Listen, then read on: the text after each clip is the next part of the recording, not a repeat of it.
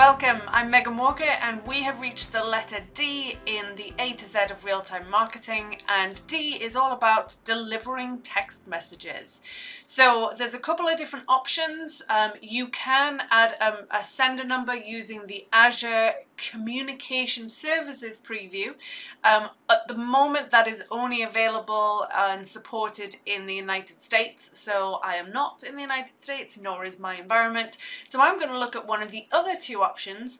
Um, you can use Twilio or you can use Telesign if you've got accounts for those. I found Twilio to be very quick and easy to set up in terms of having a test account. So that is what I'm going to use. But the premise, once you've got everything set up, is essentially going to be the same. So we'll walk through a quick setup and then actually creating the text messages. So we'll have a look at that. Okay, so from within the marketing app, we are going to start off in the settings area and we're going to go to the SMS providers option within customer engagement section. And what we need to do is we need to actually set up the text number. So we need to um, link this to our Twilio account in this example. So like I said, we are going to use Twilio for this to walk through. Um, you can use Telesign, you can use um, whatever option is, is makes the most sense for you. But like I said, this is a, a, test account that I've got for Twilio, so it's the easiest one for me to use. So then I'm going to pick from Telesign or Twilio as the provider, and then within your account for that provider, you're going to get some kind of ID and auth token, some kind of um, key that you will be putting in there. So I've added that information, which basically is linking it to my account. Now what I need to do is I need to say, well, what phone number will these text messages come from? So I'm putting in a number that I've got that's assigned to my Twilio account. I'm selecting the type of geo. You could have a toll-free number, you could be using shortcodes. So I'm using geo and then we're going to give it some kind of description. That's what's going to be shown when we're setting up and creating the text messages. You might have multiple in a drop down, so that is going to tell your users which account to actually use. Then we're going to go ahead and add that, and that's it, we're done. We've added our text number, we've set it up. Like I said, you could set up additional accounts.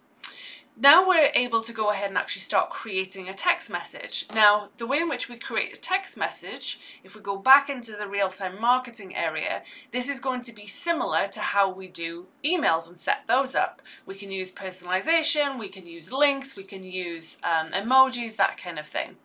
So if we start off, then we're going to see that provider in the list or the test text message um, that we set up, we're going to be able to pick that sender. So then we can go ahead and actually start typing out the message. What is it that we actually want to be sending to somebody on their phone via a text message? So like I said, we could pick emojis if we wanted to. We can um, add stuff to the text to hopefully make it more engaging, make it more interesting, and hopefully have somebody interact and click on whatever link we're sending or read the information that we're giving to them. So, like I said, keep we can keep typing out. What we can also do is the personalization that we do in an email, we can also do from here as well. So we can go ahead and say, right, well, this variable or this, this piece of personalization, we're going to call it first name. The default value will be hi there. So if first name field is empty, shouldn't be, it's a bad database, but if the first name field is empty, we want it to say hi there instead of that. Then I'm going to go ahead and search for the first name and I'm going to select it and then save it. So now we can see that it'll have first name and then it'll actually include whatever's in the text message. So each person is then getting their own personalized text message with their name in it. Now, what we then have is what's the message designation?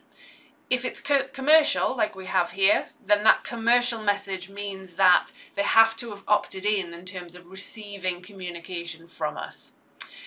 What we can also do is we can review this and we can actually do a test send. So if we want to go ahead and see, well, actually, I want to see what it will actually look like on a phone, I can go ahead and do a test send.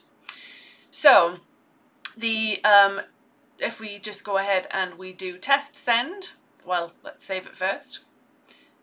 So then we can go ahead and we can rename it, so we can call it something that makes sense so that when we're setting up our journeys, we're able to know which one we need to pick. Then we can do a test send. It's going to validate, just like it does with an email, it's going to validate, make sure there's no errors. And then we have to put in an actual real phone number. So we have to use a phone number that um, is is real or I guess we don't know if it's real or not, but I have to put something in there to be able to receive it. It obviously has to be real. So I'm going to go ahead and put in a phone number. And then because we've added personalization, we need to be able to send something through because this is just a preview. I'm going to go ahead and put in my name and then I can go ahead and send it and then that will come through to me. So I can just make sure it looks okay, that the link I put in there, that that works fine, all of that stuff. All right, so that is a commercial text message that we're then going to use to be able to send um, something out that is a marketing type message. It's not anything about their account. It's not something that's critical that they get from us. Once we're ready to use it in a journey, we use the ready to send button, which is again in the outbound markets marketing similar to the going live um, functionality. It makes it ready to be able to use in a journey. So if we go ahead and do a, another one, so with this one, we can do a little bit more personalization. And again, we can do that first name, put in our default value. What should it show if there is no first name? Again, please make sure you have first names in your database, but still, just in case, in the off chance it's missing. So this is a reminder that your account um, still needs to be updated or whatever that might be.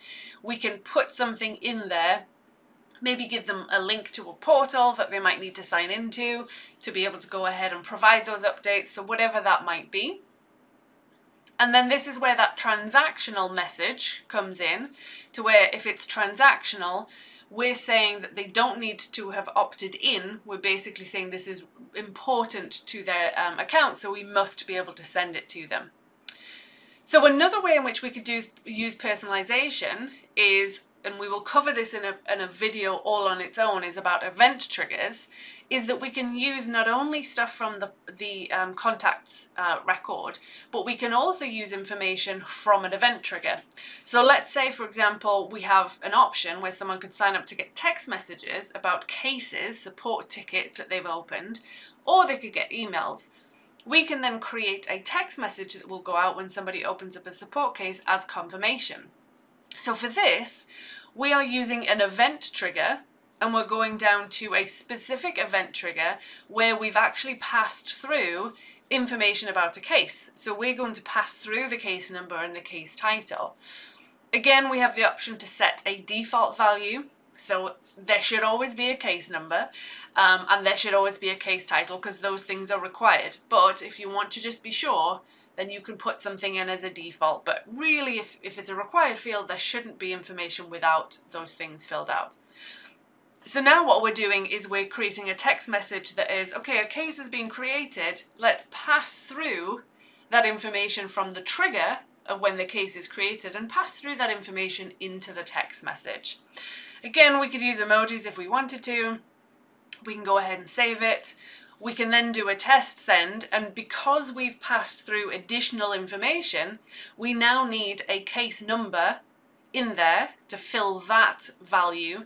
We also need a case title in there to fill that value so that we can see what it will look like when it's received. So the more personalization you add, then obviously when you're doing a test, you need to be putting in that, that information and filling out those values. So we'll just go ahead and put in a phone number of where it needs to be sent to and send that out. So again, once that's ready to go, if we want to, we can make sure that it's got the correct um, name on the text message, the, the subject, so to speak, so that whenever we're creating a journey, we know which text message that we need to be selecting. Um, so ready to send, if I press ready to send and I want to make that change, that's where my edit button comes into play. So I've already just made it ready to send. I'm going to sort of take it out of that, change, make a change to the subject, and then I can go ahead and do um, save and ready to send again. So now I've got those text messages that I'm then able to go ahead and actually use in my journey when we get to that point and put it all together. So let me know what you think in the comments below. Is text messaging something that you've been waiting for? Are you ready to start using it? Let me know what you think. Hi, I'm Megan Walker. Thanks for watching. I hope you enjoyed the video and that you learned something from it. If you don't want to miss out on any other content, you can go ahead and click on my face below to subscribe. And if you want to watch the next video, you can do that by clicking over here and go ahead and get started. Thanks again.